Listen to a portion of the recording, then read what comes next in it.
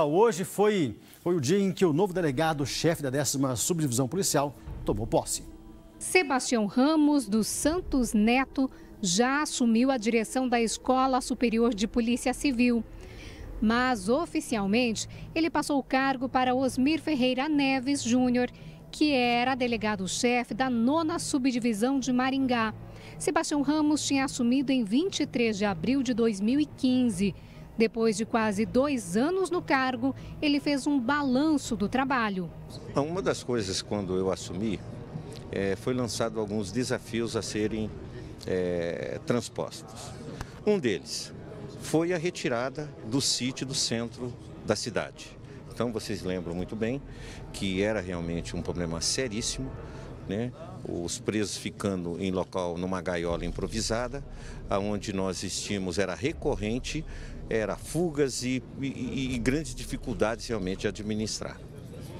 É, com isso, nós também tiramos ali do centro da cidade é, os carros que eram apreendidos e que ficavam durante muito tempo ali na leste-oeste. Então, é, isso aí foi uma questão realmente que, assim que cheguei, é, nós colocamos como desafio, e nesse caso quero realmente é, parabenizar a equipe, porque não foi de forma nenhuma uma ação somente minha, a equipe que ajudou e muito no sentido de nós realizarmos realmente essa transferência desse sítio para o, onde, onde funcionava o quarto distrito policial.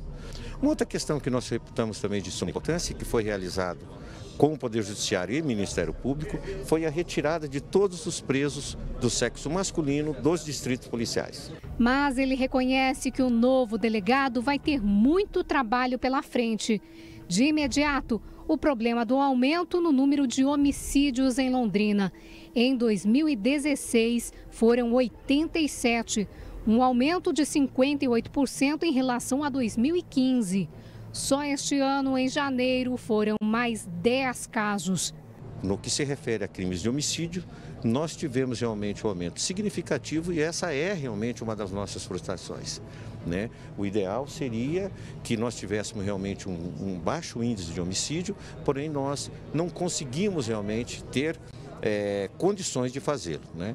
Em relação a isso, a expectativa é grande, já que Osmir Ferreira conseguiu bons resultados em Maringá. Lá não houve registro de nenhum homicídio num período de 60 dias. Essa redução de homicídios foi fruto de ações integradas com a Polícia Militar, de, do combate efetivo ao tráfico de drogas, principalmente aquele tráfico de drogas varejista. É, na, na cidade de Maringá, nesse período em que ficaram dois meses sem a prática de homicídios, por exemplo, nós tivemos as prisões, em duas, prisões de aproximadamente 40 traficantes em duas operações da Polícia Civil.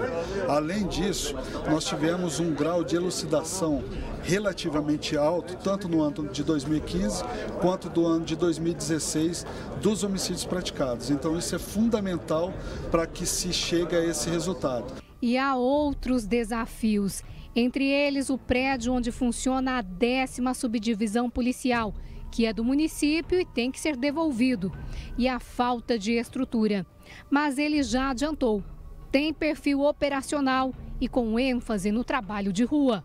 Nós vamos buscar que é, policiais que estão na rotina administrativa é, comecem a trabalhar também na rotina operacional.